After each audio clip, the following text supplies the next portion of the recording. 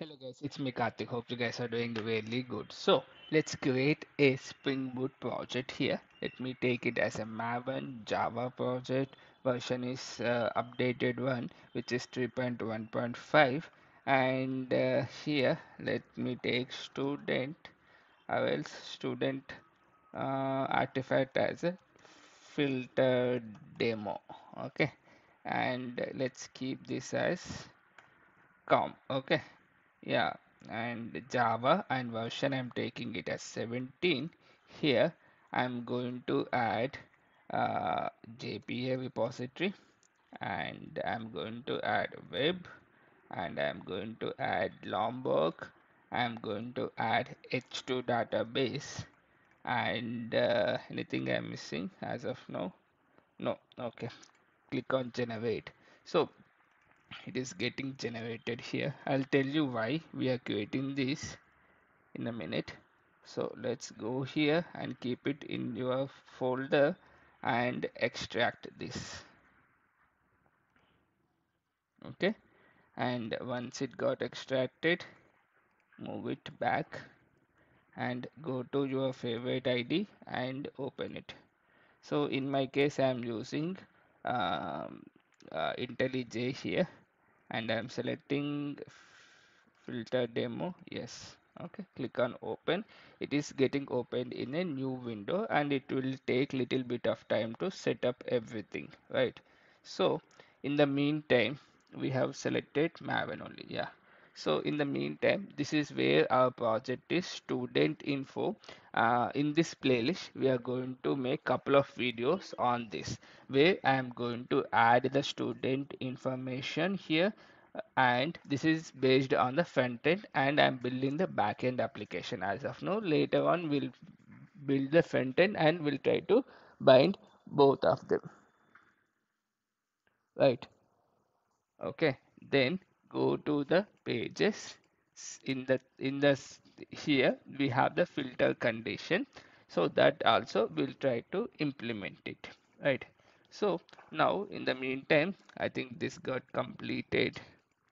Here we are going to use H2 database. I know it's an in-memory database, but for our demo purpose, since I have not made any videos on the H2 database, so I'm planning to use this. Okay. Now go to the pom.xml. Here you could see Spring Data JPA, Starter Web, H2 we got it, Lombok we got it, Test we got it. Okay, cool. Now let's try to uh, get some application properties for h2 database. Okay. Simple.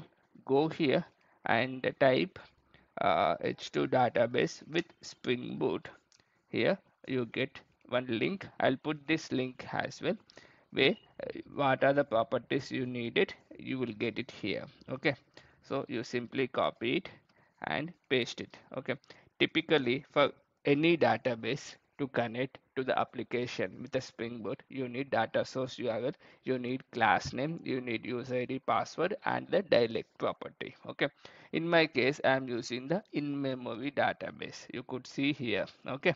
So in this database, this will get all the tables will get created. And what is the class name for H2 database? It's H2 driver and username password dialect here. So what is mean by dialect? Dialect is nothing but we have the Java, we have the SQL, and to compatibility, okay, to to to do the compatibility between these two, the dialect will help us. Okay, so this is the application properties, normal application properties for the H2 database. Okay, now if I go and run, it should run properly and we have not created any tables any rest controllers as of now. That we will create it in the next video okay? This video is just about the backend application building and also the application properties okay? Let's see are we getting any issues or not? Okay here i'm passing the application here I think it should start now. Okay. Now uh, you could see no active profile and default it is there and finished. Okay. Now you could see all these have come up.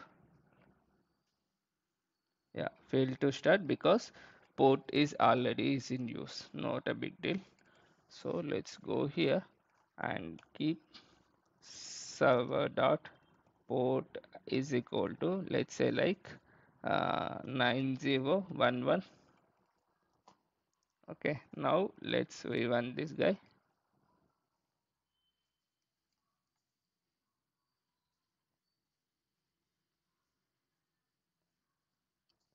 so what are the things you need for the h2 database?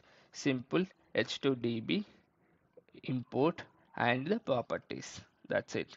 And you don't need any special application. When your application is up and running during that itself you have a h2 hyphen console will be there. Okay? That also i'll try to show. Okay?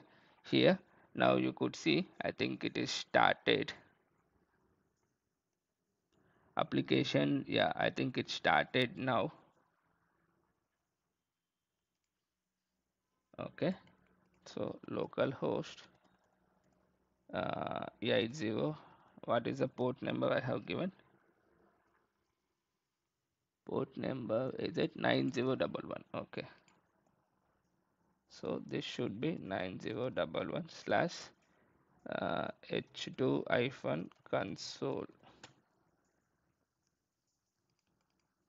and like login will be there something like that okay?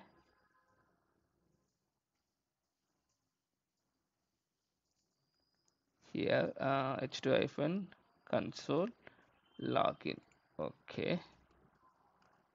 I think this will be closed I guess completed initialization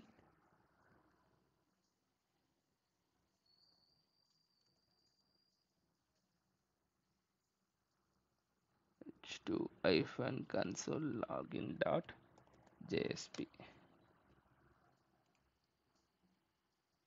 yeah not a big deal. We'll see it in the next video. We'll look into that